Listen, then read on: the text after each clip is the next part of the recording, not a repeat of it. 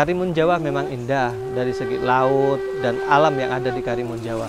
Tetapi ada yang lebih indah lagi bahwa Karimun Jawa ini terdiri dari beberapa suku yang ada di Karimun Jawa. Ada suku Bugis, Jawa, Madura, dan Mandar, dan lain sebagainya. Ini akan lebih indah karena suku-suku itu bersatu padu untuk Indonesia NKRI.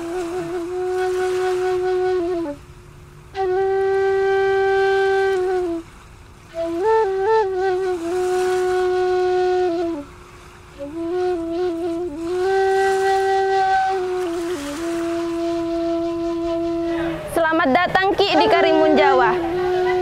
Monggo pinara datang Karimun Jawa.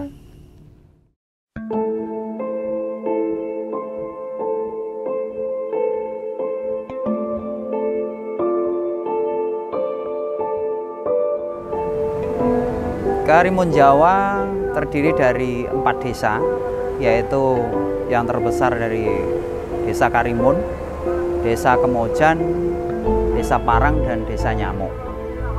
Struktur masyarakat di sana jumlahnya tidak terlalu banyak, jumlahnya cuma sekitar 10.120 sekian lah.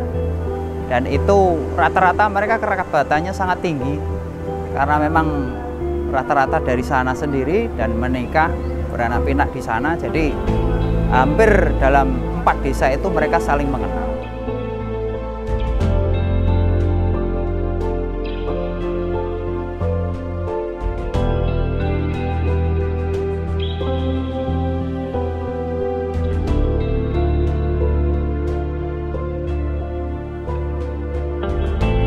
Saya lahir di sini.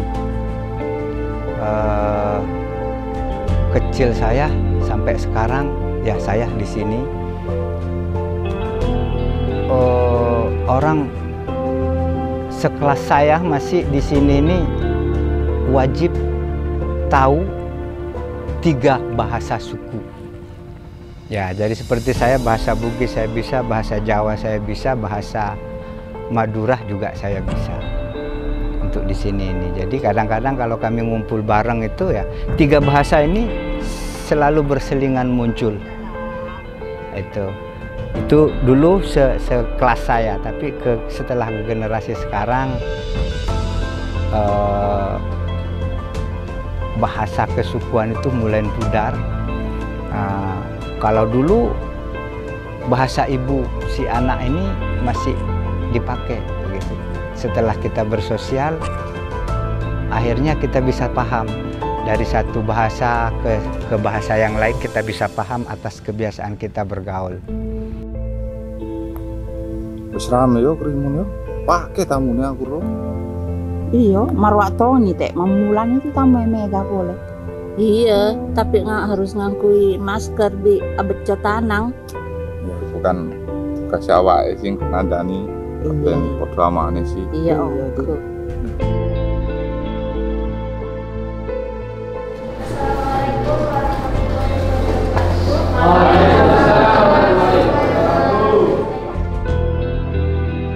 Madrasah kami khususnya Madrasah Alia Safinatul Huda ini adalah satu-satunya madrasah alia tingkat SMA di Karimun Jawa untuk tingkat madrasah.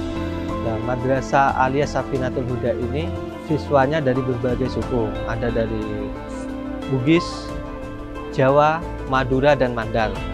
Kebetulan saya sendiri di sini eh, dari suku Mandar itu sendiri. Untuk sebagai paling paling sulit IPAN.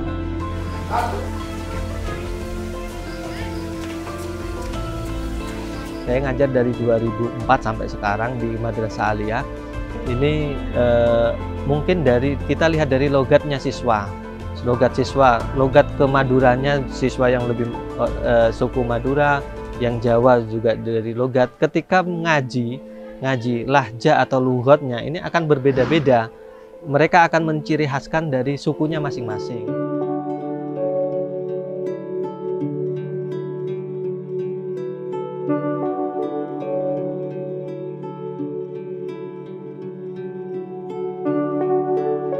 Nama saya Pak Patah, tinggal di Karimun, meninggalkan Sulawesi, tinggal di Karimun Jawa kan, tahun 76. Asalnya tani dulu, asalnya tani. Akhirnya pikir-pikir tani ini tidak ada hasilnya. Akhirnya cari jalan kerja lain, masuk ke pertukangan. Pertama dulunya tukangnya bukan tukang kapal, tukang rumah. Nah, akhirnya tukang rumah lima tahun, tidak ada, tidak ada perubahan sama sekali kan. Akhirnya belajar bikin kapal sampai sekarang.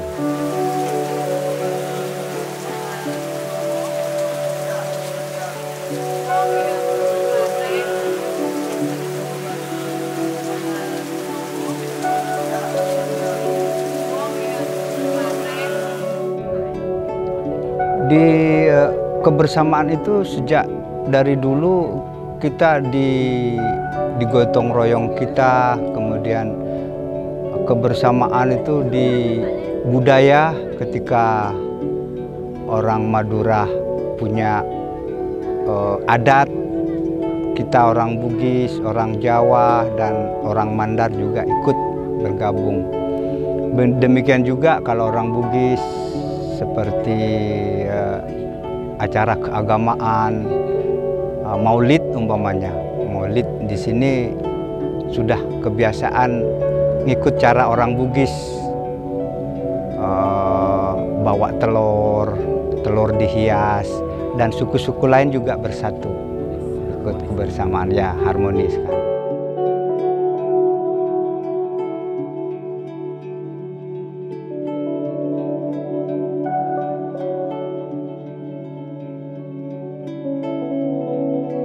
Uh, menurut saya sih orangnya ramah-ramah ya, jadi kayaknya itu benar-benar yang baik-baik banget, kayak udah kayak keluarga sendiri gitu loh, menurut saya.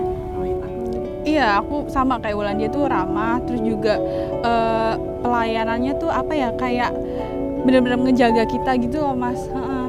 Dan sebaik itu nggak sih? Dari pertama kita datang tuh benar-benar dari awal tuh dilayaninnya, terus juga orang-orangnya juga kayak ini mbak kalau mau beli makanan di sini, kalau mau ini di sini kayak gitu. Oh iya, kalau aku tuh juga kalau pariwisata nggak cuman uh, mengunjungi untuk melihat keindahan alamnya, tapi juga orang-orangnya gitu.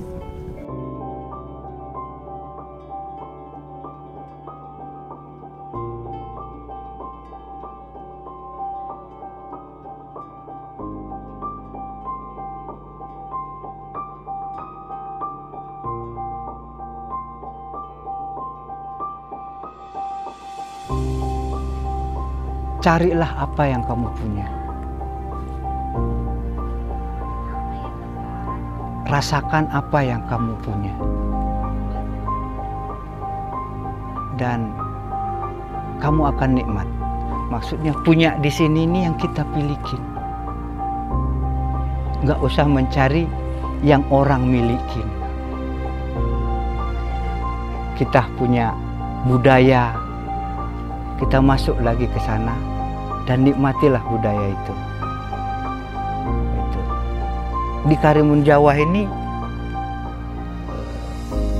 kita sangat menghargai budaya dan nyamannya dulu ketika kita saling menghargai itu nyaman banget dan anak-anak sekarang sudah mulai kabur dengan budaya itu sudah mulai nyari budayanya orang, milik orang, dipaksakan diterapkan ke dirinya. Sementara yang dia punya, yang berharga itu dia sudah lupakan. Kemudian hargailah alam. Sebab kita bisa hidup karena dia hidup. Ketika dia rusak, kita nggak bakalan senang.